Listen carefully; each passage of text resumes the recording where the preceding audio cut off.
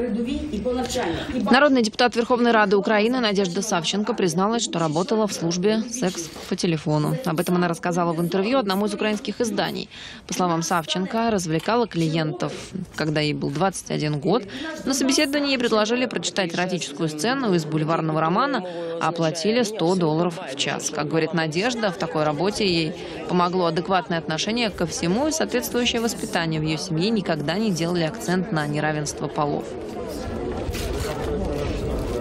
Несет парень ведро воды, и ты несешь ведро воды. Вам по 6 лет, вы маленькие. Какая между вами разница? У меня было заложено нормальное восприятие противоположного пола.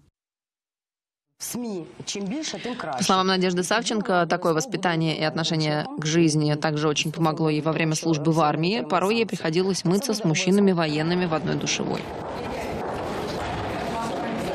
Когда ты становишься под душ после работы на улице в 35-градусную жару, когда у тебя синяки и ссадины по всему телу, тебе совершенно безразлично, кто моется рядом с тобой. Просто наслаждаешься водой.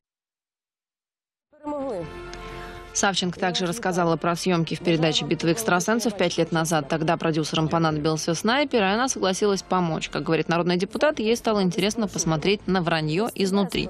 Надежду Савченко в марте прошлого года приговорили в России к 22 годам лишения свободы за причастность к убийству российских журналистов во время боевых действий в Донбассе.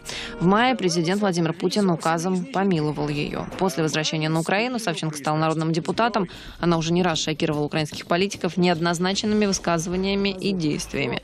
На днях в телеэфире она описала политическую ситуацию в стране с помощью десятка матерных выражений.